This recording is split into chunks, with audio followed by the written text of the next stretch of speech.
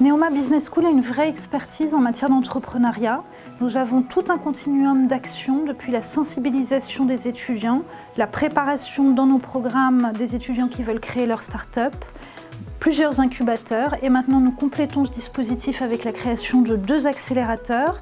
Pourquoi des accélérateurs spécialisés? Parce que l'idée c'est vraiment de rassembler dans un même lieu plusieurs startups qui travaillent sur le même secteur. Et nous sommes d'ailleurs la seule école en France à avoir des accélérateurs spécialisés de ce type.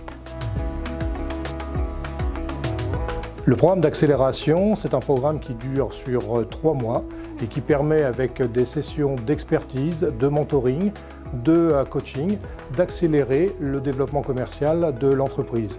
Ce programme de trois mois se termine par ce qu'on appelle un Demo Day, euh, qui est une session de pitch devant des investisseurs qui permet de réaliser la véritable levée de fonds pour l'entreprise.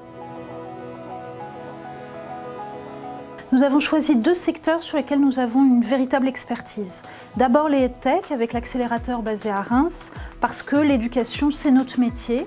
Euh, nous avons à Neoma une expérience forte en matière de technologie pédagogique novatrice, notamment avec euh, les dispositifs en réalité virtuelle immersive. Et l'idée c'est d'offrir aux startups de ces secteurs euh, la possibilité d'avoir accès à la fois au terrain d'expérimentation que constitue l'école et l'ensemble de ses études mais aussi à nos 300 partenaires académiques de par le monde.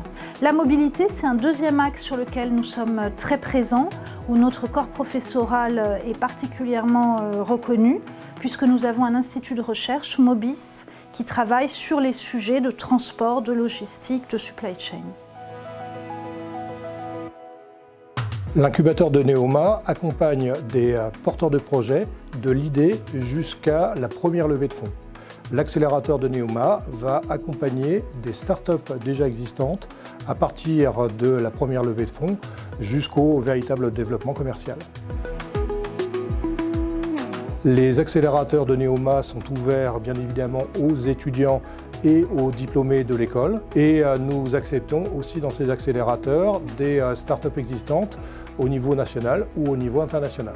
Sur l'accélérateur EdTech, les euh, projets qui peuvent candidater sont des projets autour de l'amélioration par la technologie de la pédagogie dans les salles de cours, pour la partie mobilité, ce sont des projets autour de l'amélioration des business models, par exemple sur les infrastructures, sur les superstructures, sur les mobiles, donc les véhicules par exemple.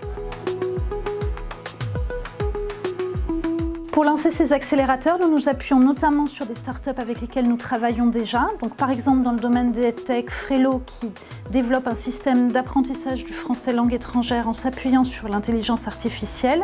Notons d'ailleurs que nous travaillons aussi avec des grandes entreprises puisque la Société Générale sponsorise le projet. Côté mobilité, nous travaillons par exemple avec la start-up Colibri qui permet la livraison des achats en ligne le soir quand les gens sont chez eux.